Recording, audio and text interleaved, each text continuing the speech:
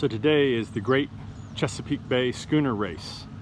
Uh, the fleet has just crossed the starting line at the Chesapeake Bay Bridge near Annapolis and we'll be heading south down the bay.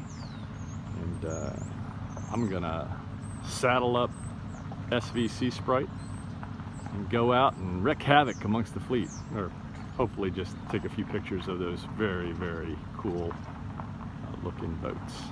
So come aboard with S/V SeaSprite as we venture out into the bay to watch the Great Chesapeake Bay Schooner Race.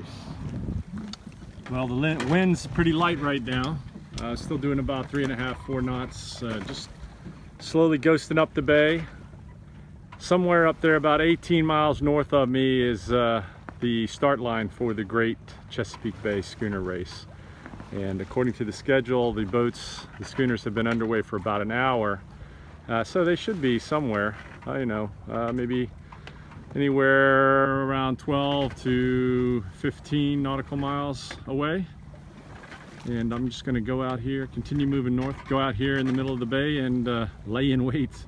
And hopefully they'll all come by and uh, I'll get a lot of video.